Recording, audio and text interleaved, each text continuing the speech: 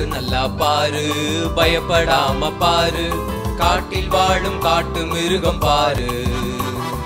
கீழு நல்லா கீழு தைரியமா கீழு. Wild animals சொல்லும் செய்தி கீழு தேவன் பூமியிலுள்ள ஜாதி ஜாதியான காட்டு மிருகங்களையும் ஜாதி ஜாதியான நாட்டு மிருகங்களையும் உண்டாக்கினார். ஆதியாகமம் ஒன்று இருபத்தி ஐந்து.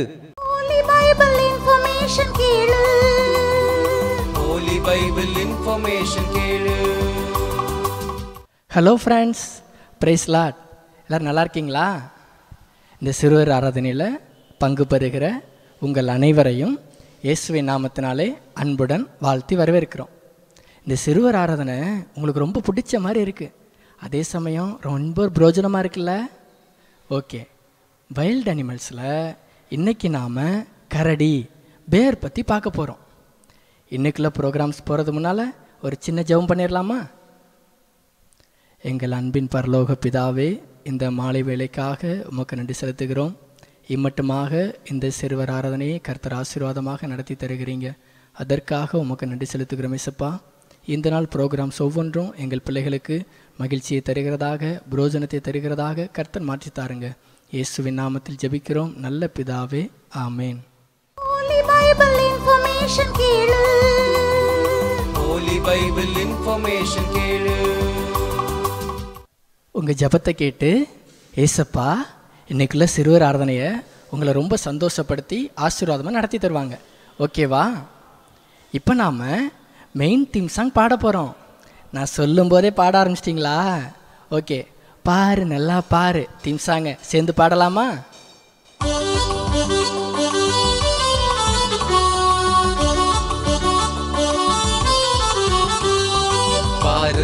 பாரு பயப்படாம பாரு. காட்டில் வாழும் காட்டு மிருகம் பாரு. கீழு நல்லா கீழு தைரியமா கீழு. வைல்ட் அனிமல்ஸ் சொல்லும் செய்தி கீழு ஓநாய் மான் கரடி காண்டாமிருகம் சிவிங்கி நரி சிங்கம் வைல்ட் அனிமல்ஸ் பாரு.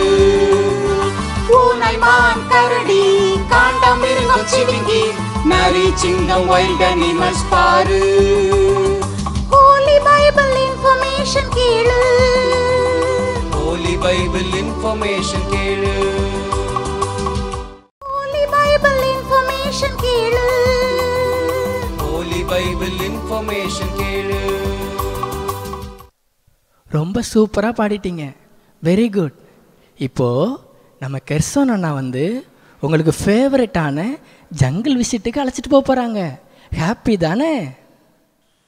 Hi friends I am so happy to see all in this jungle visit ஏன்னா எல்லோரும் எல்லாரும் இருக்கீங்களா? வாவ் சூப்பர் சூப்பர் சரி ஓகே இன்னைக்கு நாம் பேர் அனிமலை பற்றி பார்க்க போகிறோம் எஸ் கரடியை பற்றி நாம் பார்க்க போகிறோம் சரிங்களா? எல்லாரும் ரெடியாக இருக்கீங்களா? சரி ஓகே அண்ணன் கரடியை பற்றி சொல்லித்தர போகிறேன் எல்லாரும் கவனமாக கவனிங்க. ஓகேவா சரி ஓகே ஃப்ரெண்ட்ஸ் அதுக்கு முன்னாடி இன்னைக்கு ஒரு ஃப்ரெண்டு ஒருத்தன் வந்திருக்கான். ஆமாம் எங்கே அப்படின்னு தேடுறீங்களா? வருவான் வருவான். அவன் பேர் வந்து ஜிம்மி பேர் ஓகேவா நம்ம எல்லாரும் அவனுக்கு ஒரு ஹாய் சொல்லும்போது அவனும் நமக்கு ஒரு ஹாய் சொல்லுவான். சரிங்களா? எல்லாரும் ரெடியாக இருந்துக்கோங்க. ஜிம்மி பேர் வந்தோடனே ஒரு ஹாய் சொல்லுவான். ஓகேவா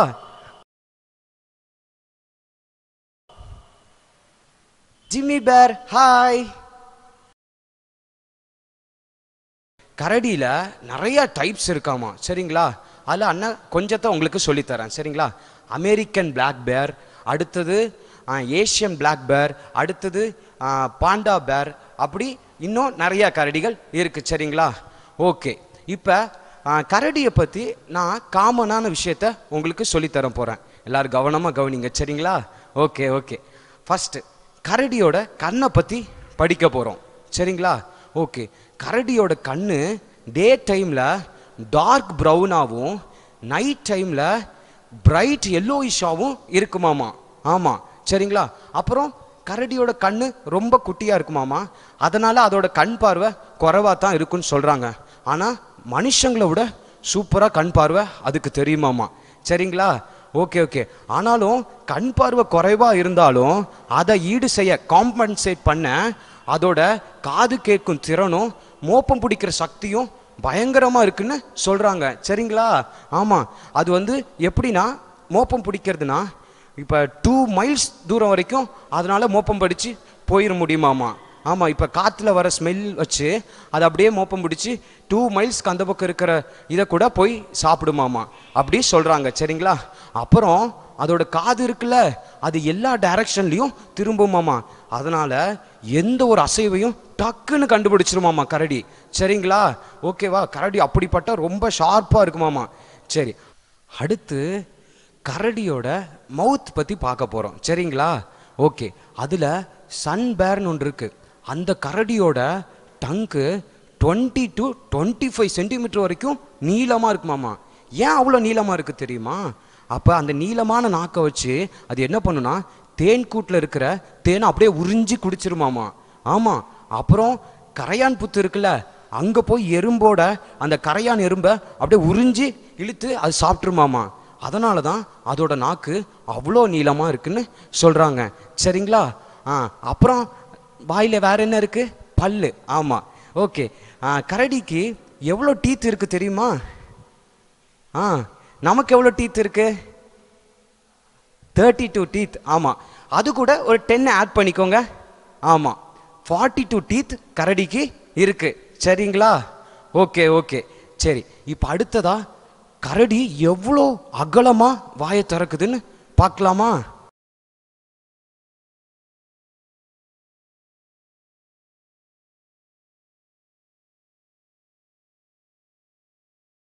ஆ. வாவ் எவ்வளோ பெருசாக வாய் திறக்குது பார்த்தீங்களா? ஆமாம் ஆமாம் ஆமாம் இவ்வளோ அகலமாக கரடி வாயை திறக்கும். சரிங்களா? Okay okay. அப்புறம் கரடியோட கையில் நீளமான நகங்கள் இருக்கும்.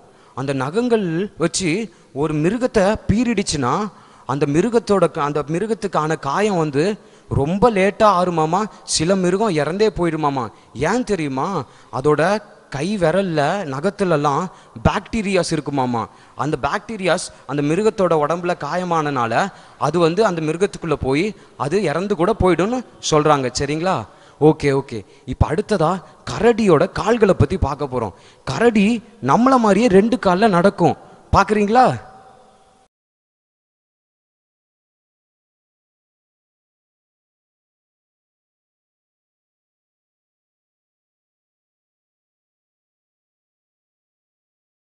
சா பார்த்தீங்களா கரடி நம்மளை மாதிரியே எப்படி நிற்குது நடக்குது பார்த்தீங்களா ஆமாம் சரி அடுத்ததா இப்போ அண்ணன் வந்து கரடியை பற்றி காமனான விஷயத்தில் ஒவ்வொரு கரடியும் டிஃப்ரெண்ட்டான ஆட்டிடியூட் இருக்கும்ல. அதை பற்றி அண்ணன் உங்களுக்கு சொல்லித் போகிறேன் சரிங்களா? ஓகே. அதில் சன் பேர் இருக்குல்ல அந்த கரடிக்கு குட்டி அந்த கரடியோட குட்டி பிறக்கும்போது ஒரு முடியுமே இருக்காது. அதுக்கு ஸ்மெல் பண்ணுற சக்தியும் இருக்காது. காதும் கேட்காது. கண்ணும் தெரியாது. அதனால் அந்த சன்பேர் என்ன பண்ணுனா அதோட குட்டியை தன் கையில் தூக்கிட்டு கையில் தூக்கி வச்சு ரெண்டு காலில் நடந்துட்டு ரெண்டு கையில் அந்த குட்டியில் வச்சுருக்குமாமா. சரிங்களா? சரி. அடுத்ததாக என்னென்னா பாண்டா பேர் இருக்குல்ல அது வந்து டுவெல் ஆர்ஸாக மூங்கிலேயே சாப்பிடுமாமா. ஆமாம் பன்னெண்டு மணி நேரமா வெறும் மூங்கில் மரத்தையே சாப்பிட்டு சாப்பிட்டுட்டே இருக்குமாமா சரிங்களா? அடுத்ததா கிறிஸ்லி பேர் இருக்குல்ல அந்த பேர் என்ன பண்ணுனா அது வந்து நூறு நாள் வரைக்கும் சாப்பிடாமலே இருக்க முடியுமாமா அதனால. அதோட ஃபேட்டை வச்சு அதனால நூறு நாள் வரைக்கும் சாப்பிடாம உயிர் வாழ முடியுமாமா சரிங்களா? அப்புறம் கரடி ரொம்ப புத்திசாலியான அனிமல்னு சொல்றாங்க. சரிங்களா? ஏசியாஸ்டிக் பேர் இருக்குல்ல அது வந்து மரத்துலேயும் கூடு கட்டுதாமா. சரிங்களா? அப்புறம் கரடி எப்பெல்லாம் ரொம்ப ஆக்டிவாக இருக்கும் தெரியுமா? ஏர்லி மார்னிங்காகவும் லேட் ஈவினிங்காகவும் கரடி அந்த டைம் எல்லாம் இற தேடுறதுக்கு ரொம்ப அது ஆக்டிவாக இருக்குன்னு சொல்கிறாங்க சரிங்களா? அப்புறம் இந்த கரடி அதோட ஃபீலிங்ஸை எப்படி ஷேர் பண்ணுன்னா நம்மளை மாதிரியே பாடி லாங்குவேஜ்லேயும் சவுண்ட்ஸ்லேயும் அது ஒவ்வொன்றும் ஒவ்வொன்றும் கம்யூனிகேட் பண்ணிக்குமாமா. சரிங்களா? சரி ஓகே இப்போ கரடி வந்து எப்படியெல்லாம் சவுண்டு இது பண்ணும் தெரியுமா? ஆ அது வந்து முணங்குச்சுன்னா அப்படி முணங்கும் போது அது வந்து ரொம்ப பயப்படுதுன்னு அர்த்தம். சரிங்களா? ஓகேவா குறைச்சிதுன்னு வச்சுக்கோங்க. அது வந்து எதிரிகளை துரத்துதுன்னு அர்த்தம். சரிங்களா? அப்புறம் உருமிச்சுன்னு வச்சுக்கோங்க. அப்போ வந்து அது வந்து ரொம்ப கோபமாக இருக்குன்னு அர்த்தம். சரிங்களா? அப்புறம் கர்ஜிச்சுதுன்னு வச்சுங்க. அப்போ வந்து அது வந்து ரொம்ப அடுத்தவங்கள அச்சுறுத்துது அப்படின்னு அர்த்தம். சரிங்களா? ஓகேவா? சரி ஓகே. இப்போ நாம கரடி எதையெல்லாம் சாப்பிடும்னு நாம் பார்க்க போகிறோம் சரிங்களா? கரடி நிறையா இலைகள் அப்புறம் தலைகள் மூங்கில் எது கிடைச்சாலும் சாப்பிடும். நான்வெஜ்ஜும் சாப்பிடும். முக்கியமாக தேன் ரொம்ப சாப்பிடும். கரையான் எறும்புகளை ரொம்ப நல்லா கரடி சாப்பிடும். சரிங்களா? அப்புறம் கரடிக்கு எந்தெந்த சீசனில் எங்கெங்க என்னென்ன உணவு இருக்கும்னு கரடிக்கு நல்லா தெரியும்னு சொல்கிறாங்க சரிங்களா? அப்புறம் அதோட கேல் பிளாடர்னு இருக்குல்ல அதில் இருக்கிற தண்ணியை சைனீஸ் வந்து மெடிசனுக்காக யூஸ் பண்ணுறாங்களாமா என்னது கேல் பிளாடர்னு கேட்குறீங்களா ஆ சரி அண்ணன் சொல்லித்தரேன் கேல் பிளாடர்னா இப்போ கோழி வெட்டும்போது பார்த்துருக்கீங்களா? உள்ள பச்சை கலரில் ஒன்று இருக்கும். அதை தனியாக எடுத்து வச்சிருவாங்க. அதுதான் வந்து கோழியோட கேல் பிளாடர் சரிங்களா? நமக்கும் கேல் பிளாடர் இருக்கும். சரிங்களா? அதை போல் கரடிக்கும் கேல் பிளாடர் இருக்குது அதில் இருக்கிற தண்ணியை எடுத்து வச்சு அதை வந்து சைனீஸ் வந்து மெடிசின்காக யூஸ் பண்ணுறாங்க சரிங்களா? அப்புறம் பேரோட ஃபேட் இருக்குல்ல கொழுப்பில் அதை வந்து மெடிசின்காக யூஸ் பண்ணுறாங்களாமா ஆமாம் ஸ்கின் வந்து ரீஜென்ரேட் ஆகிறதுக்கும் அப்புறம் இச்சிங்க்கு இதுக்கெல்லாம் வந்து யூஸ் பண்ணுறாங்களாமா சரிங்களா? அடுத்தது கரடி எங்கெல்லாம் இருக்குது எந்தெந்த நாட்டிலலாம் இருக்குன்னா அமெரிக்காவில் இருக்கு தாய்வானில் இருக்குது சைனால இருக்கு ஜப்பானில் இருக்கு அப்புறம் இந்தியாலையும் கரடி எல்லாம் இருக்கு சரிங்களா? கரடி பெருசாச்சுன்னா எட்டடி வரைக்கும் இப்படி நின்றுச்சுன்னு வச்சுக்கோங்க எட்டடி வரைக்கும் நீளமாக நிற்குமாமா ஆமாம் அடுத்தது அதோட வெயிட் வந்து செவன் ஃபிஃப்டி கேஜிக்கு மேலே அதோட வெயிட்டு இருக்குமாமா? சரிங்களா? அப்புறம் கரடி வந்து சூப்பராக நீச்சல் அடிக்குமாமா. ஆமாம் கரடி நல்லா நீச்சல் அடித்து போகுமாமா. சரிங்களா? அடுத்ததா கரடி எவ்வளோ கிலோமீட்டர் ஸ்பீடில் போகும் தெரியுமா? ஆ? தேர்ட்டி மைல்ஸ் பெர் ஆரில் ஸ்பீடில் கரடி ஓடுமாமா. சரிங்களா? லாஸ்ட்டாக கரடியோட லைஃப் ஸ்பேன் பற்றி பார்க்க போகிறோம் சரிங்களா? கரடி எவ்வளோ வருஷம்தான் உயிர் வாழும் அப்படின்னு. சரிங்களா? கரடி வந்து டுவெண்ட்டி ஃபைவ் இயர்ஸ் வரைக்கும் பூமியில் உயிர் வாழுமாமா. சரிங்களா? ஓகே. இப்போ அண்ணா இன்னொரு காரியத்தை உங்களுக்கு சொல்லித்தர போகிறேன் என்னன்னா கரடி கிட்டேருந்து எப்படியெல்லாம் தப்பிக்கலான்னு ஒரு சில வரிகளை சொல்லியிருக்காங்க. சரிங்களா? எப்படின்னா கரடி நம்மளை பார்த்துருச்சுன்னு வச்சுக்கோங்க. நம்ம உடனே சத்தம் போடணுமாமா? கத்துனோன்னு வச்சுக்கோங்க. சில கரடி பயந்து ஓடி போயிருமாமா? அப்படி இல்லைன்னா பானை பாத்திரம் ஏதாவது இருந்தால் தூக்கி போட்டு உடைக்கிறது அடிக்கிறது இப்படியெல்லாம் பண்ணும்போது கரடி ஓடி போயிடுமாமா? அப்படியும் இல்லைன்னா தீப்பந்தம் இருக்குல்ல தீ காட்டினா கரடி ஓடி போயிருமாமா? சரி கடைசியில் எதுவுமே இல்லைன்னு வச்சுக்கோங்க. நீங்கள் உங்கள் ஷோல்டர்லலாம் இப்படி நல்லா தூக்கி வச்சுட்டு அப்படியே பெரிய ஆள் மாதிரி இப்படி காட்டி சத்தம் போட்டு இப்படி பண்ணீங்கன்னா கரடி உங்களை பார்த்து பயந்து ஓடி போயிடும்னு சொல்கிறாங்க சரிங்களா? ஓகே. என்ன குட்டீஸ் இன்னைக்கு எல்லாமே நல்லா கரடி பற்றி படிச்சிங்களா? எல்லாரும் ரொம்ப பிரயோஜனமாக இருந்ததா? சரி. இதோட இன்னைக்குள்ள ஜங்கிள் விசிட் ஓவர் சரிங்களா? ஓகே பாய்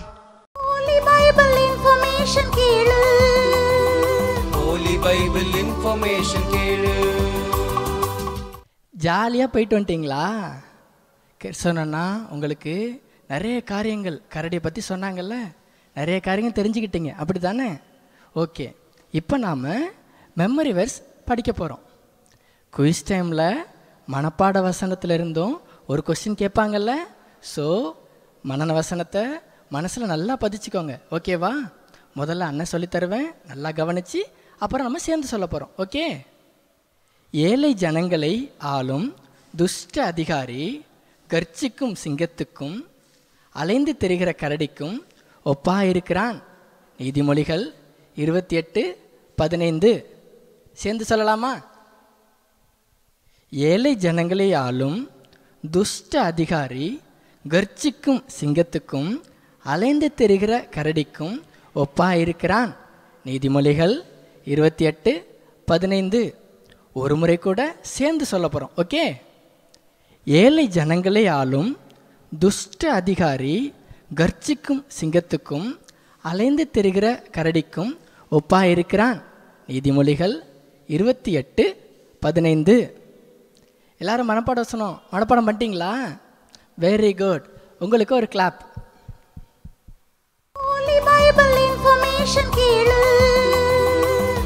பைபிள் இன்ஃபர்மேஷன் கேளு. ஹலோ ஃப்ரெண்ட்ஸ் இப்போது ஜான் வெஸ்லி அண்ணா கரடி பற்றி ஒரு புது பாடலை உங்களுக்கு கற்றுத்தர போகிறாங்க ஓகேவா?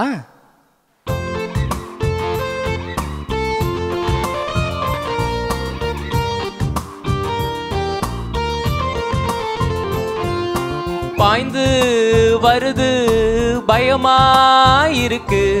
கரடி அது கரடி மாட்டிக்கொண்டால் பீறி போடுமே. நீ மாட்டிக்கொண்டால் பீறி போடுமே. தம்பி தங்காய் நீ கரடி அல்ல.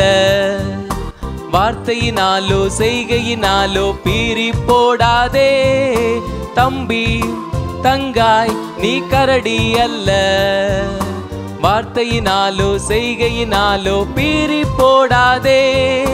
அன்போடும் பண்போடும் இரக்கத்தோடும் தயவோடும் தாழ்மையாக நடந்து கொள்வாய். அன்போடும் பண்போடும் இரக்கத்தோடும் தயவோடும் தாழ்மையாக நடந்து கொள்வாய். சூப்பரான பாட்டில்ல? ஓகே. இப்போது இந்த பாடலுக்கு ரெண்டு அண்ணன்மார் வந்து உங்களுக்கு ஆக்ஷன் கற்றுத்தர வராங்க. கவனமாக பாருங்க. அப்புறம் சேர்ந்து பண்ணலாம். ஓகே?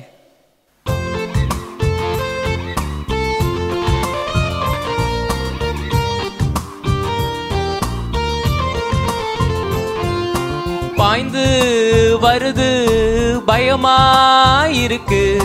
கரடி அது கரடி. மாட்டிக்கொண்டால் பீறி போடுமே. நீ மாட்டிக்கொண்டால் பீறி போடுமே. தம்பி தங்காய் நீ கரடி அல்ல. வார்த்தையினாலோ செய்கையினாலோ பீறி போடாதே. தம்பி தங்காய் நீ கரடி அல்ல. வார்த்தையினாலோ செய்கையினாலோ பீறி போடாதே. அன்போடும் பண்போடும் இரக்கத்தோடும் தயவோடும் தாழ்மையாக நடந்து கொள்வாய். அன்போடும் பண்போடும் இரக்கத்தோடும் தயவோடும் தாழ்மையாக நடந்து கொள்வாய். என்ன குட்டீஸ்? ஆக்ஷன் பண்ண ரெடி ஆயிட்டீங்களா? இப்போது நான் ரெடி ஒன் டூ த்ரீ அப்படின்னு சொன்னோன்னே நீங்கள் எலும்பி ஜம்முன்னு நிற்கணும் ஓகேவா ready one two three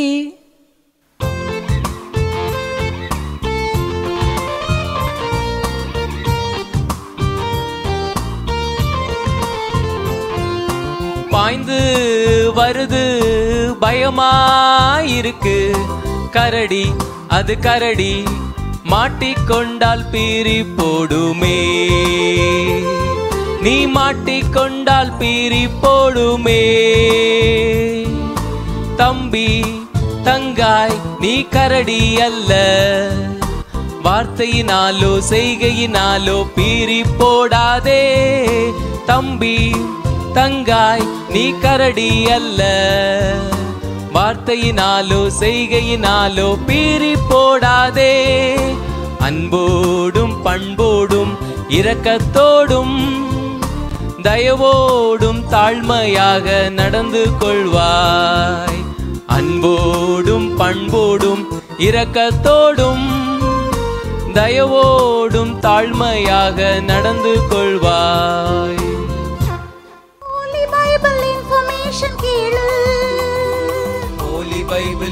information கேளு. இப்போ நாம் இந்த பக்கம் போகணுமா? இல்லை அந்த பக்கம் போகணுமா? அப்படின்னு தெரிஞ்சுக்கிற கெயிட் போஸ்ட் பக்கம் வந்துட்டோம். இப்போது பிரிஸ்கில் ஆண்டி வந்து உங்களை கெயிட் போஸ்ட்டுக்கு அழைச்சிட்டு போக வராங்க. நீங்கள் ஒன்று ஞாபகம் வச்சுக்கோங்க. குயிஸ் டைமில் ஒரு கொஸ்டின் கெயிட் போஸ்ட்லேருந்து வரும். சரியா? நீங்கள் ஆண்டி சொல்கிறத கவனமாக கேட்டு எழுதி கரெக்டாக ஆன்சர் பண்ணணும். ஓகே பிரைஸ் லாட் குட்டீஸ். நம்ம இப்போ கைட் போஸ்ட் கிட்ட வந்து நிற்கிறோம் இப்போ நமக்கு இந்த கைட் போஸ்ட் வழிகாட்டுகிறபடி ஹோலி பைபிளில் கரடி மூலம் எதை கற்றுக்கொள்கிறோமோ அந்த வழியில் நடக்க போகிறோம் ஓகேவா முதலாவதாக ஆட்டை பிடித்த கரடி.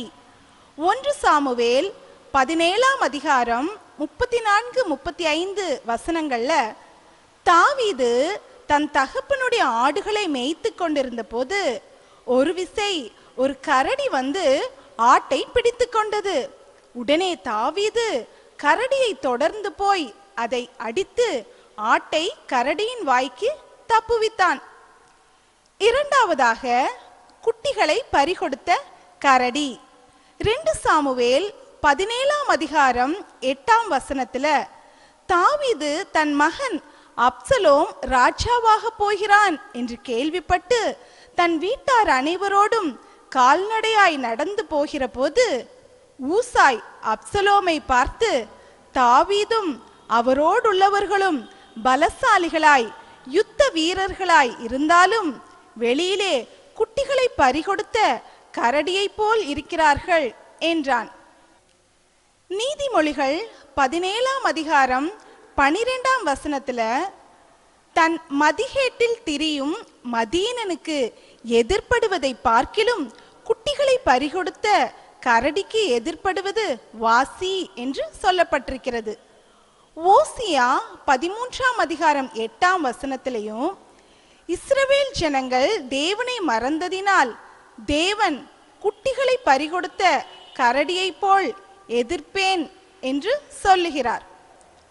மூன்றாவதாக பீரி போட்ட கரடி. ரெண்டு ராஜாக்கள் ரெண்டாம் அதிகாரம் இருபத்தி மூன்று இருபத்தி நான்கு வசனங்கள்ல எலிசா எலியாவின் ஆவியின் வரத்தை ரெட்டிப்பாய் பெற்றுக்கொண்டு திரும்பி வரும்போது பிள்ளைகள் எலிசாவை பார்த்து நிந்தித்தார்கள்.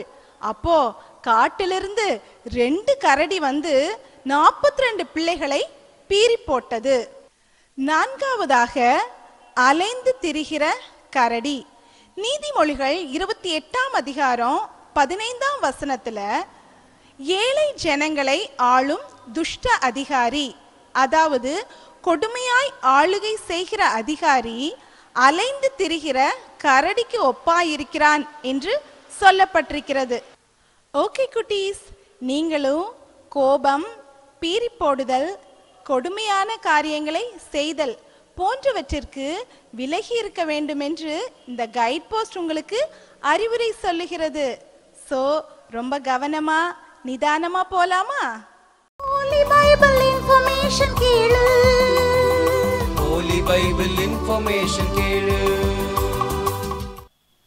ஆன்ட்டி உங்களுக்கு கரடி பற்றி நிறைய காரியங்கள் சொல்லி தந்தாங்க. அப்படி தானே இப்போது இயேசு ஜெயித்தார் அப்படின்ற பாடலை ஸ்வீட் ஆண்டியும் நித்யா ஆண்டியும் உங்களுக்கு சொல்லித்தர வராங்க. கவனமாக கேளுங்க.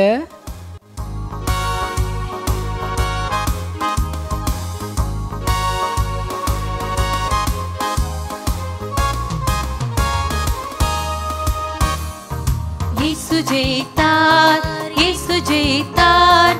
பாவ சாப ரோகங்களை இயேசு ஜெயித்தார் இயேசு ஜெயித்தார் இயேசு ஜெயித்தார்.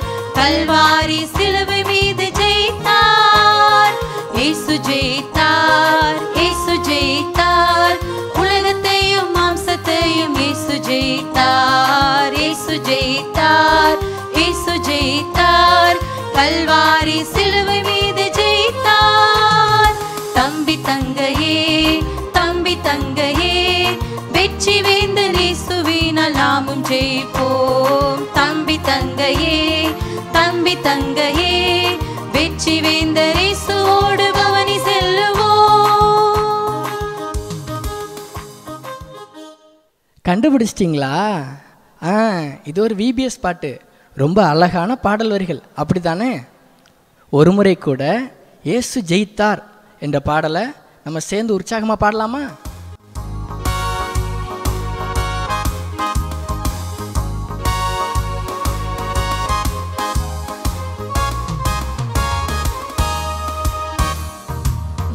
ஜெயித்தார்.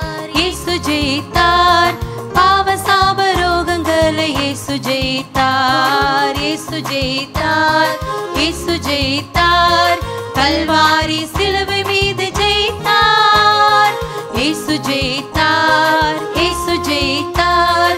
உலகத்தையும் மாம்சத்தையும் இயேசு ஜெயித்தார். இயேசு ஜெயித்தார்.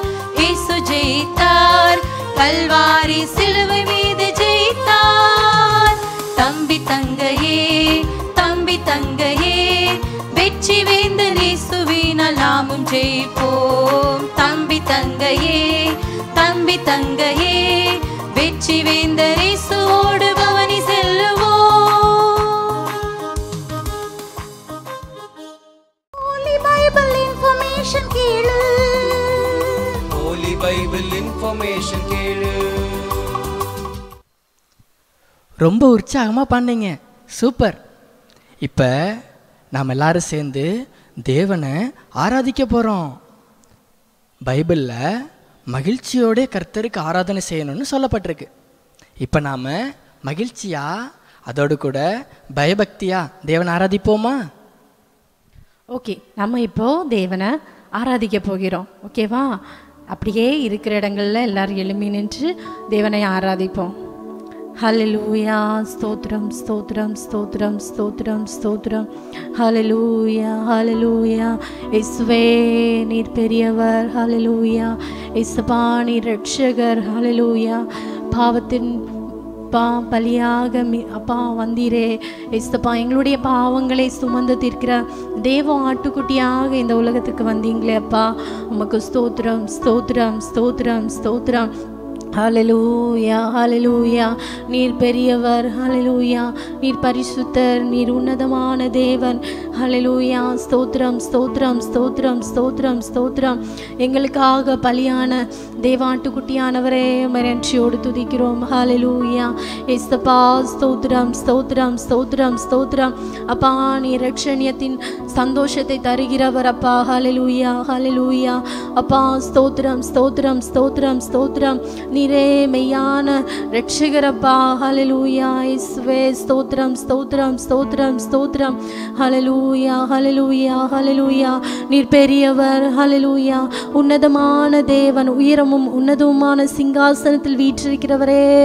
உமக்கு ஸ்தோத்ரம் ஸ்தோத்ரம் ஸ்தோத்ரம் ஸ்தோத்ரம் ஹலலூயா ஹலலூயா அப்பா உடைய கிருபைக்காய் ஸ்தோத்ரம் நீர் பரிசுத்தர் ஹலலூயா நீர் பெரியவர் ஹலலூயா ஸ்தோத்ரம் ஸ்தோத்திரம் ஸ்தோத்திரம் ஸ்தோத்திரம். ஹலலூயா ஹலலூயா ஹலலூயா இஸ்வே உடைய கிருபைக்காய் ஸ்தோத்திரம். ஹலலூயா ஹலலூயா என்னுடைய இருதயத்தில் சந்தோஷத்தால் நிறைக்கிற தேவனப்பா. ஹலலூயா ரட்சணியத்தின் சந்தோஷத்தை எங்களுக்கு தருகிறவரே உமக்கு ஸ்தோத்திரம் அப்பா உற்சாகமான ஆவியால் எங்களை நிரக்கு நிரப்புகிறவரே உமக்கு ஸ்தோத்திரம் ஸ்தோத்திரம் ஸ்தோத்திரம் ஸ்தோத்திரம் ஸ்தோத்திரம். ஹலலூயா ஹலலூயா ஹலலூயா ஹலலூயா இஸ்தப்பா உம்முடைய கிருபைக்காய் ஸ்தோத்திரம். தேவனே உம்முடைய கிருபைக்காய் ஸ்தோத்திரம் ஸ்தோத்திரம் ஸ்தோத்திரம் ஸ்தோத்திரம் ஸ்தோத்திரம். ஹலலூயா ஹலலூயா ஹலலூயா என்னுள்ளம் தேவன் பால் பொங்கி வழியுதே. ஏசன்னை ரட்சித்தான் நான் ஆடி பாடுவேன். எவரும் அறியாரே என்னுள்ளம் பொங்குதே. என்னுள்ளம் பொங்கி பொங்கி பொங்கி பொங்கி வழியுதே. என்னுள்ளம் தேவன் பால் பொங்கி வழியுதே. இசனை ரட்சித்தால் நான் ஆடி பாடுவேன். எவரும் மாறியாரே என்னுள்ளம் பொங்குதே. என்னுள்ளம் பொங்கி பொங்கி பொங்கி பொங்கி வழியுதே. சந்தோஷம் பொங்குதே சந்தோஷம் பொங்குதே. சந்தோஷம் என்னில் பொங்குதே. ஹalleluya இயேசு என்னை ரட்சித்தார் முற்றும் என்னை மாற்றினார். சந்தோஷம் என்னில் பொங்குதே. சத்தமாய் சொல்லலாமா? சந்தோஷம் பொங்குதே. சந்தோஷம் பொங்குதே. சந்தோஷம் என்னில் பொங்குதே. ஹalleluya இயேசு என்னை ரட்சித்தார் முற்றும் என்னை மாற்றினார். சந்தோஷம் என்னில் பொங்குதே. என்னுள்ளம் தேவன் பால் பொங்கி வழியுதே. இசனை ரட்சித்தான் நான் ஆடி பாடுவேன் எவ்வாறு மாறியாரே என்னுள்ளம் பொங்குதே. என்னுள்ளம் பொங்கி பொங்கி பொங்கி பொங்கி வழியுதே. என்னுள்ளம் பொங்கி பொங்கி பொங்கி பொங்கி வழியுதே. ஹalleluya இஸ்வே நீர் எங்களை ரட்சித்தீரே. அதுக்காக உமக்கு ஸ்தோத்திரம் அப்பா. எங்களுடைய இருதயத்துல உங்களுடைய சந்தோஷத்தை எங்களுக்கு தந்தீங்களே அப்பா. உமக்கு ஸ்தோத்திரம் அப்பா. ஹலலூயா ஹalleluya எங்களுடைய இருதயத்தில் இருந்த பாவங்கள் கோபங்கள் எரிச்சல்கள் எல்லாவற்றையும் நீக்கி உங்களுடைய சந்தோஷத்தை எங்களுக்கு தந்தீங்களே அப்பா. உங்களுடைய ரட்சிப்பின் சந்தோஷத்தை அப்பா எங்களுடைய ஒவ்வொரு பிள்ளைகளுக்கும் நீங்கள் தந்தீங்களே. அதற்காக உமக்கு ஸ்தோத்திரம் தேவனே. ஹாலலூயா எஸ்ஸப்பா ஸ்தோத்திரம் ஸ்தோத்திரம் ஸ்தோத்திரம் ஸ்தோத்திரம். நீர் பெரியவர். ஹாலலூயா எஸ்வே ஸ்தோத்திரம் ஸ்தோத்திரம். எங்களுடைய ஒவ்வொரு பிள்ளைகளுடைய இருதயங்களையும் அப்பா உங்களுடைய ரட்சிப்பின் சந்தோஷத்தை நீர் நிறைவாய் தரும்படியாய் ஜெபிக்கிறோம் அப்பா. ஹலலூயா ஹலலூயா ஒவ்வொருடைய இருதயங்களையும் அப்பா அந்த ரட்சிப்பின் சந்தோஷம் பொங்கி வழியத்தக்கதாக கத்திற்கு ரூபாய் செய்யுங்கப்பா. ஹலலூயா ஸ்தோத்திரம் ஸ்தோத்திரம் ஸ்தோத்திரம் ஸ்தோத்திரம்.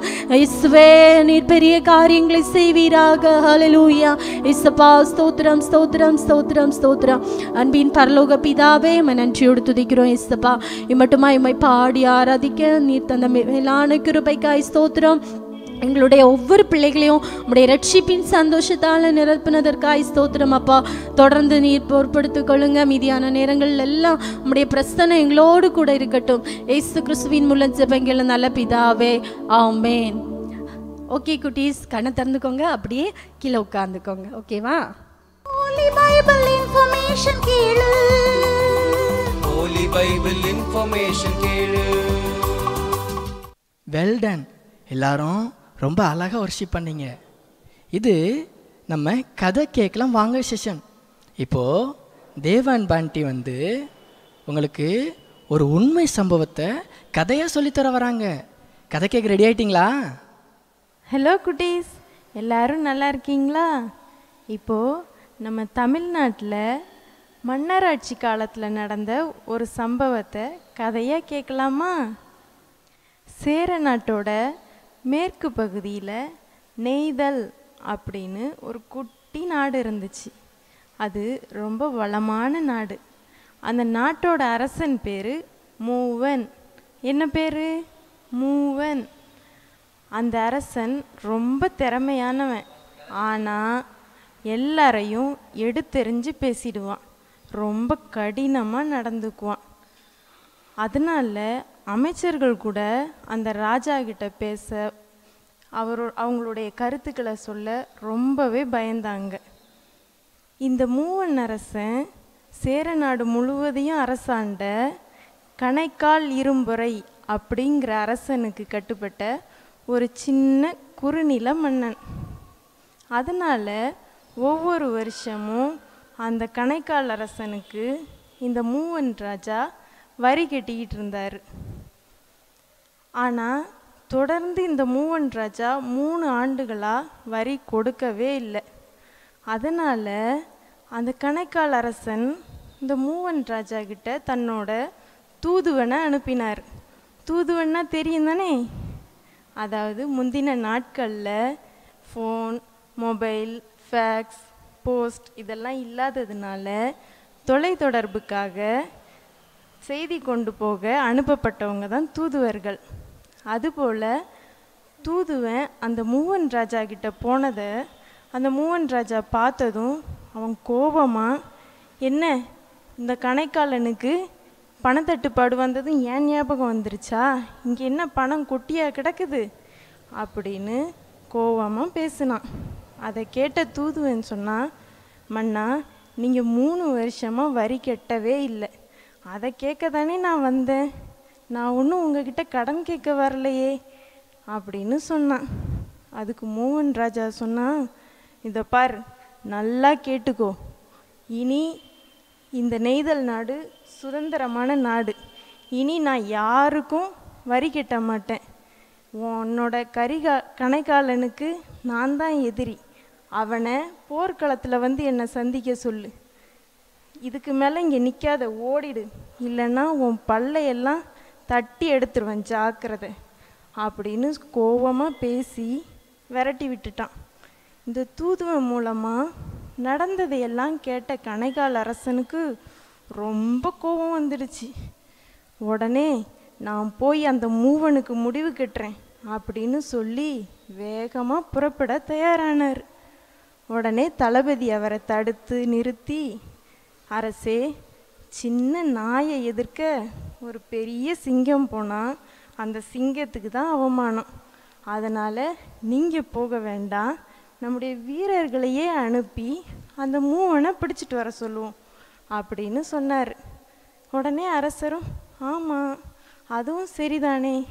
அந்த மூவனை பிடிச்சிட்டு வந்து இனி அவன் வாயை திறக்கும் போதெல்லாம் யாரையும் கடினமாக பேசக்கூடாதுன்னு அவனுக்கு உணர்வு வர்ற மாதிரி அவனோட பல்லையெல்லாம் பிடுங்கி எடுத்து நம்ம கோட்டை வாசல் கதவில் அதை பொருத்தி அதுக்கு கீழே யாகாவர் ஆயினும் நாகாக்க நாவை காக்காத மூவனின் பற்களை பாருங்கள் அப்படின்னு எழுதி வைங்கன்னு உத்தரவு போட்டார் அரசர். தளபதியும் அரசர் சொன்ன மாதிரியே அந்த மூவன் ராஜாவை பிடிச்சிட்டு வந்து அவரோட பற்களை எல்லாம் பிடுங்கி வாசல் கதவுல பொருத்தி அந்த மூவன் ராஜாவை கொண்டு போய் சிறையில் போட்டுட்டாங்க. சிறையில் அடைக்கப்பட்ட பிறகு தான் இந்த மூவன் ராஜாவுக்கு தன்னோட கடினமான பேச்சு நடக்கையினால் தனக்கும் தன்னோட நாட்டுக்கும் எவ்வளோ பெரிய தண்டனை கிடச்சிதுன்னு புரிஞ்சுது. அதையே நினச்சி நினச்சி சேர நாட்டு சிறையில் இருந்து செத்து போனார் மூவன் ராஜா. பார்த்தீங்களா பிள்ளைங்களா? தன்னோட கடினமான பேச்சு நடக்கையினால் மற்றவங்களுடைய மனசை காயப்படுத்தின மூவன் ராஜாவுக்கு எவ்வளோ பெரிய தண்டனை கிடச்சிதுன்னு?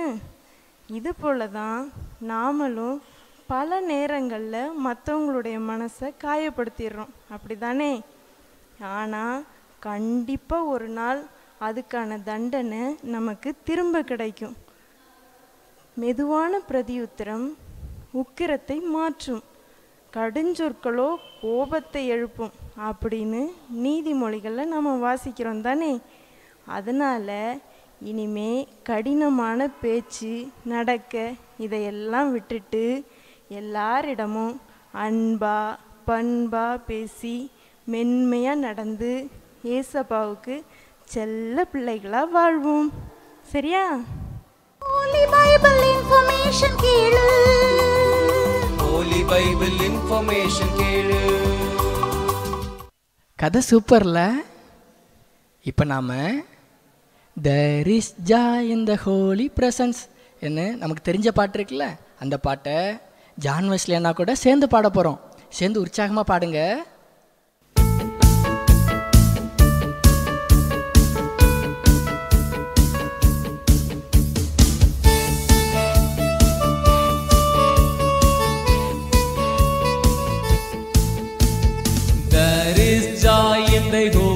Presence. There is joy in thy holy presence. There is joy in thy holy presence. There is joy, joy in thy presence. There is love in thy holy presence.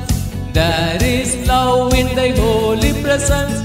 There is love in thy holy presence. There is love, love in thy presence. There is peace in thy holy presence. There is peace in thy holy presence. There is peace in thy holy presence. There is peace, peace in thy presence. Holy Bible information கேளு holy Bible information கேளு இது நம்ம quiz time sweetie aunty வந்து quiz conduct பண்ணுவாங்க நீங்கள் எல்லாரும் note book pen பென்சிலோட ready ஆயிக்கோங்க என்ன தம்பி தங்கச்சி ரெடி ஆயிட்டிங்களா குயிஸுக்கு ஓகே இன்னைக்குள்ள குயிஸுக்குள்ளே போகிறதுக்கு முன்னாடி நம்ம போன வாரம் குயிஸுக்கான ஆன்சர்ஸ் என்ன அப்படின்ட்டு பார்க்க போகிறோம் ஓகேவா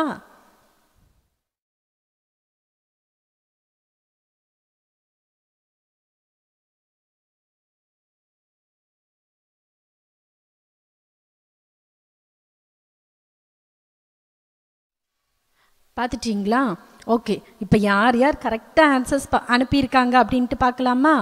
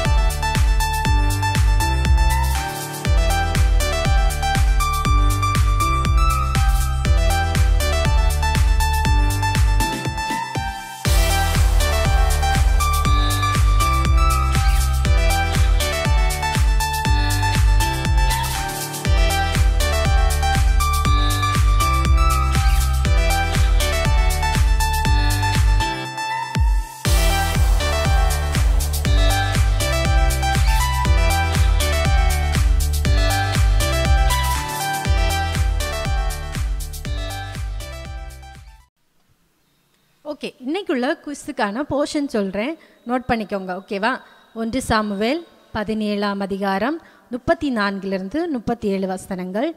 ரெண்டு ராஜாக்கள் இரண்டாம் அதிகாரம் இருபத்தி மூன்று இருபத்தி நான்கு வசனங்கள். இதிலிருந்து மூன்று கேள்விகள் கேட்க போகிறோம் ஒரு முறை கூட சொல்கிறேன் ஒன்று சாமுவேல் பதினேழாம் அதிகாரம் முப்பத்தி நான்கிலிருந்து முப்பத்தி ஏழு வசனங்கள்.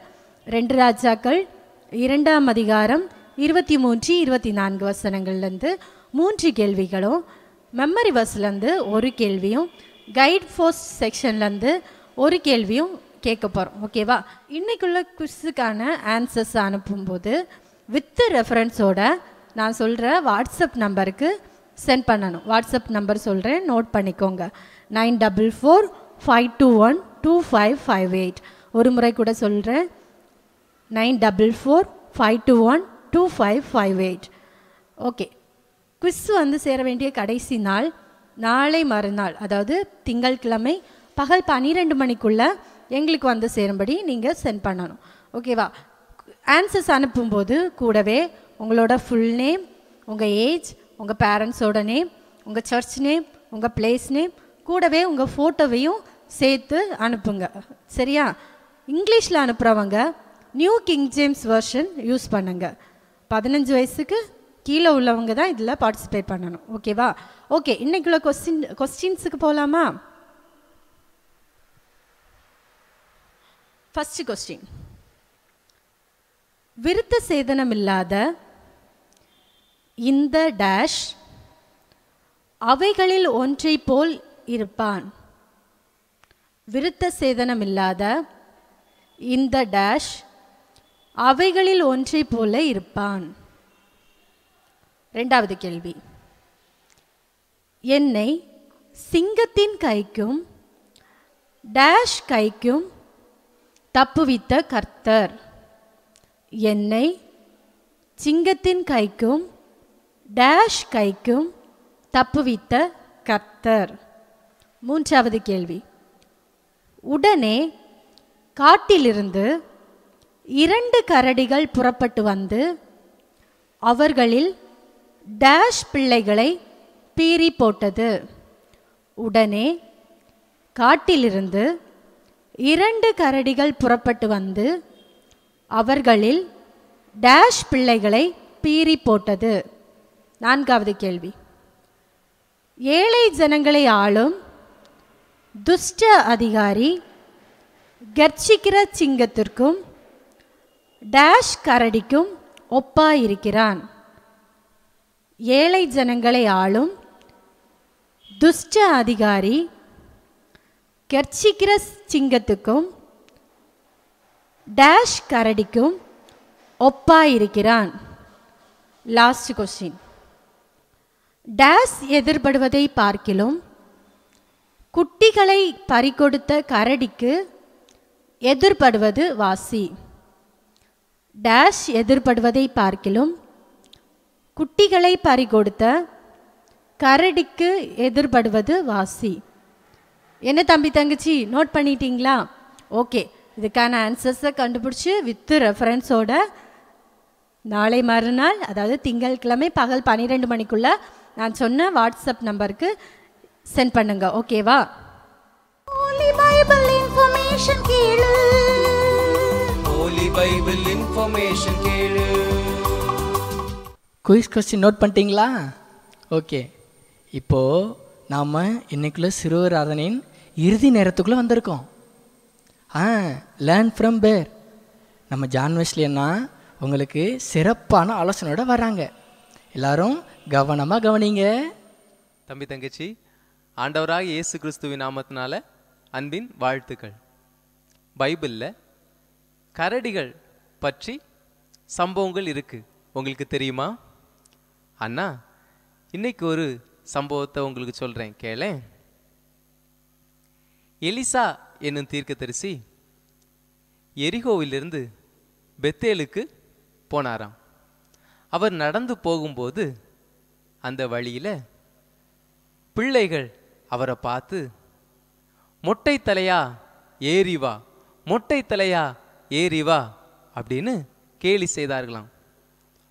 உடனே எலிசா தீர்க்கதரிசி கோபப்பட்டு அப்படியே திரும்பி பார்த்து அவங்கள கத்தருடைய நாமத்தினால சபித்தாராம்.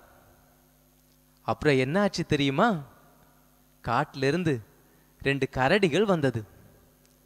அந்த கரடிகள் அந்த பிள்ளைகளை நாற்பத்தி ரெண்டு பிள்ளைகளை பீறி போட்டது இந்த சம்பவத்தை ரெண்டு ராஜாக்கள் ரெண்டாவது அதிகாரம் இருபத்தி மூன்றாவது இருபத்தி நான்காவது வசனங்களில் இருக்கிற ஷார்ட் ஹிஸ்ட்ரி பீரி போடுதல் அப்படின்றது ரொம்ப மூர்க்கமான கோபமான மோசமான சுபாவம். அப்படி தானே நம்மால பீரி போட முடியுமா? நீ கேட்கலாம் அண்ணா நாங்க என்ன கரடியா? பீரி போடுறதுக்கு? அப்படின்னு. ஆனா மனுஷர்களாலையும் பீரி போட முடியும். அது எப்படின்னா வார்த்தைகள். அதாவது நம்முடைய பேச்சு மூலமா. பட்டய குத்துகள் போல் பேசுகிறவர்களும் உண்டு. நீதிமொழிகள் பனிரெண்டு பதினெட்டு. நீ கேடுகளை செய்ய எத்தனம் பண்ணுகிறாய்? கபடு செய்யும் உன் நாவு தீட்டப்பட்ட சவரகன் கத்தியைப் போல் இருக்கிறது. சங்கீதம் ஐம்பத்தி ரெண்டு. ரெண்டு இந்த வேத வசனங்களை எல்லாம் படிச்சிருக்கியா? அப்போ நம்முடைய நாவும் ஒரு பட்டயம் போன்றது. அதை கொண்டும் மற்றவர்களை பீறி போட முடியும். எப்படியெல்லாம் மற்றவர்களை பீறி போட முடியும் அப்படின்னு பார்க்கலாமா? கடின மாறுத்தரம் ஹார்ஷ் ரிப்ளை. கேட்கும் கேள்விக்கு கடினமான பதில். உதாரணமா அம்மா ஒன்றுட்ட உன் அண்ணா எங்க? தம்பி எங்க? அக்காவை பாத்தியா? தங்கச்சி சாப்பிட்டாளா? அப்படின்னு கேட்கும்போது நீ கடினமான துணியில. எனக்கு ஒன்றும் தெரியாது. அவனை பார்க்கறது தான் என்னோட வேலையா? நீங்கள் வேணா போய் பாருங்க. என பதில் கூறுவது உங்கள் அம்மா ஹார்ட்டை அப்படியே பீறி போட்டுரும். உனக்கு தெரியுமா? ஆனால் அவங்க அதை காட்டிக்கிட மாட்டாங்க. ஆனால் நிச்சயம் ரொம்ப கஷ்டப்படுவாங்க. அடுத்து நெக்ஸ்ட் டே உனக்கு எக்ஸாம் அப்போ அம்மா உங்ககிட்ட சில அறிவுரைகள் கூறுவாங்கல்ல? அப்போ நீ அவங்க கிட்ட அதெல்லாம் எனக்கு தெரியும். நான் பார்த்துக்கொள்ளலாம். அப்படின்னு கடினமா அவங்க சொல்றத கவனிக்காம நீ பேசும்போது அவங்க மனசு ரொம்ப நோகடிக்கும்ல? அதுதான் இதே போன்ற பதில்கள் எல்லாம் தான் கடினமான மாறுத்தரம் அதற்கு பதிலா தம்பி எங்கன்னு எனக்கு தெரியல அம்மா. இதோ பார்க்குறேன். அப்புறம் அம்மா நீங்கள் சொல்கிறபடி நான் நல்லா எக்ஸாம் எழுதுவேன். அப்படியெல்லாம் சொல்லணும். சரியா? அடுத்து கடின பேச்சு. ரூடு டாக் கடின பேச்சுக்கு உதாரணம் சொல்லட்டுமா? உன் ஸ்டடி டேபிளில் உட்காந்து வாட்டர் கலர் பெயிண்ட் செய்த உன் தங்கை. அங்கே அதை காய வச்சிருக்கிறாங்க. நீ திடீர்னு வந்து இப்போவே இதெல்லாம் தூக்கிட்டு போ அப்படின்னு சத்தம் போட்டா அவ அழுதுருவாள்ல சக்ஸஸ்ஃபுல்லாக பெயிண்ட் பண்ண சந்தோஷமே போயிடும். அப்படிதானே அப்போ வருத்தம் வந்துடும் அப்போ நீ எப்படி பேசணும்? வாவ் குட் ஜாப் தங்கச்சி. சரி அண்ணாவுக்கு டேபிளில் அவசர வேலை இருக்கு. ப்ளீஸ் இதை கொஞ்சம் ரிமூவ் பண்ணி வச்சிருவியா? அப்படின்னு பொலைட் வேல பேசணும் சரியா? ஸோ ப்ளீஸ் அப்புறம் தேங்க்யூ இதெல்லாம் யூஸ் பண்ணி நீ உன்னுடைய பேச்சஸ் தொடங்கணும். அப்போ கடினமாக நீ பேச மாட்ட. நெக்ஸ்ட் வேதனைப்படுத்தும் விமர்சனம். ஊன்டிங் கமாண்ட் கஷ்டப்பட்டு படித்து எக்ஸாமில் ஃபஸ்ட்டு மார்க் வாங்கின ஒருத்தரை நீ காப்பி அடிச்சு தான் ஃபஸ்ட் மார்க் வாங்கின அப்படின்னு அவன்கிட்டையும் மற்றவங்ககிட்டையும் சொல்லி காப்பி அடிக்காட்டா நீ ஃபஸ்ட் மார்க் வாங்கியிருக்கவே மாட்ட அப்படியெல்லாம் சொல்கிறது அவனை கமாண்ட் பண்ணுறது வேதனைப்படுத்தும் விமர்சனம். அதுக்கு பதிலாக ஹாய் வெல்டன்டா நல்ல மார்க் வாங்கியிருக்க. அப்படின்னு சொல்லலாம். அது சொல்ல முடியாட்டி வாயை மூடிட்டு சும்மா இருந்துடலாம் அன்புள்ள தம்பி தங்கச்சி நம்ம பேசுகிறத கத்தர் கவனித்து கேட்பார்.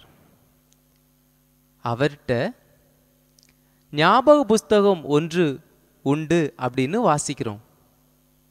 நீ பேசும் ஒவ்வொரு வார்த்தைகளும் அதில் எழுதப்படுகிறது.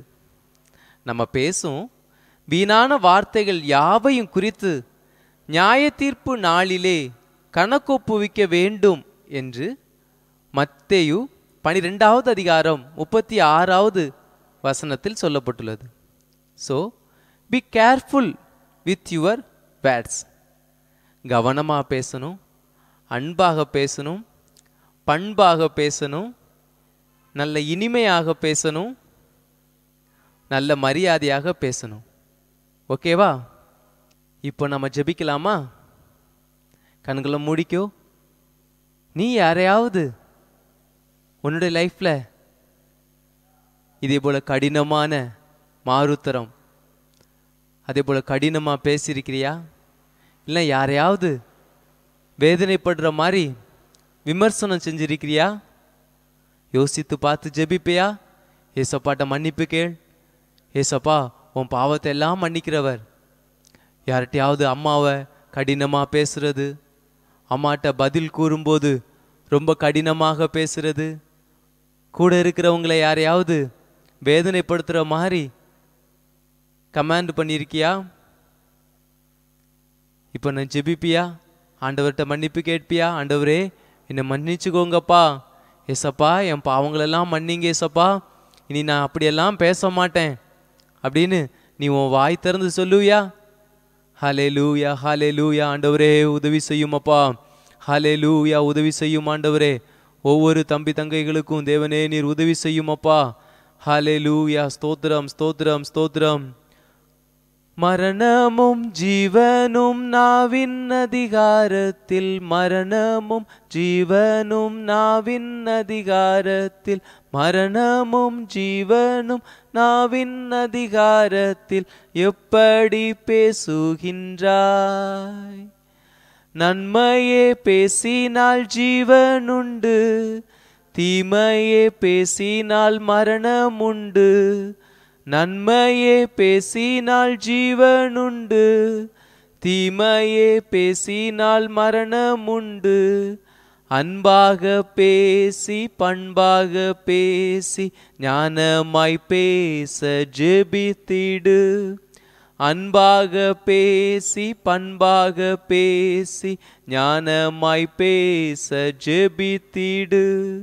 சொற்களின் மிகுதியால் பாவமுண்டு பாவத்தின் சம்பளம் மரணம் உண்டு சொற்களின் மிகுதியால் பாவம் உண்டு பாவத்தின் சம்பளம் மரணம் உண்டு உண்மையை பேசி நன்மையை பேசி செம்மையாய் பேச ஜெபித்திடு. உண்மையை பேசி நன்மையை பேசி செம்மையாய் பேச ஜெபித்திடு. ஹலெலூயா ஹலெலூயா ஏசப்பாட்ட கேட்பியா ஆண்டவரே நான் எப்போதும் கடினமாக பேசாதபடி எல்லாருக்கும் பொறுமையோடு சாந்தமாக பண்பாக பேச எனக்கு உதவி செய்யுங்கப்பா. ஹலெலூயா நான் யாரையும் என்னுடைய சொற்களினாலே வேதனைப்படுத்தாதபடிக்கு வாழ ஏசப்பா எனக்கு உதவி செய்யும் என்று கேட்பியா. ஹலே லூயா ஸ்தோத்திரம் ஸ்தோத்திரம். ஹலே லூயா ஸ்தோத்திரம் ஸ்தோத்திரம் ஸ்தோத்திரம். மகா கிருபின் இருந்த நல்ல பிதாவே ஆசீர்வாதமான இந்த நேரத்திற்காக உமக்கு ஸ்தோத்திரம் ஆண்டவரே. கத்தாவே ஸ்தோத்திரம் கிருபை நிறைந்த ஆண்டவர். கத்தாவே ஸ்தோத்திரம். தேவனே இதை கேட்ட ஒவ்வொரு பிள்ளைகளும் தேவனே ஸ்தோத்திரம் உமக்கு பிரியமாக நல்ல மென்மையாக பண்பாக. தேவனே ஸ்தோத்திரம். பேச்சிலே தேவனே உமக்கு பிரியமுள்ளவர்களாக வாழ.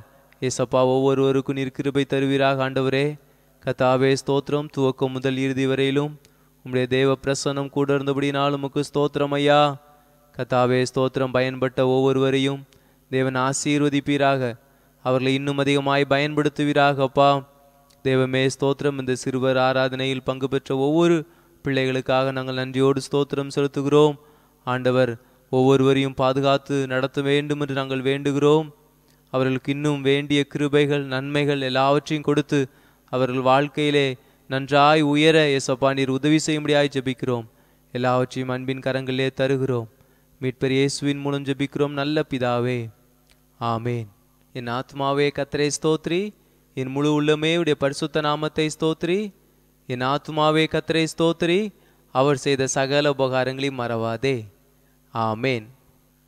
ஸோ தம்பி தங்கச்சி say no to harsh reply rude talk and wounded command. Reply humbly speak politely and appreciate cheerfully. May God bless you all hello friends நீங்களும் மென்மையான பண்புள்ள பேச்சுக்களே பேசணும். சரியா? இன்னைக்குள்ள சிறுவர் ஆராதனை உங்களுக்கு ரொம்ப பிரயோஜனமாக இருந்தது. அப்படி தானே நீங்கள் அடைஞ்ச நன்மையை சந்தோஷத்தை புரோஜனமான காரியத்தை உங்கள் ஃப்ரெண்ட்ஸுக்கும் அறிமுகப்படுத்தணும். சரியா? அடுத்த சிறுவர் நம்ம சந்திப்போம். Meet at Saturday evening sharp at four o'clock okay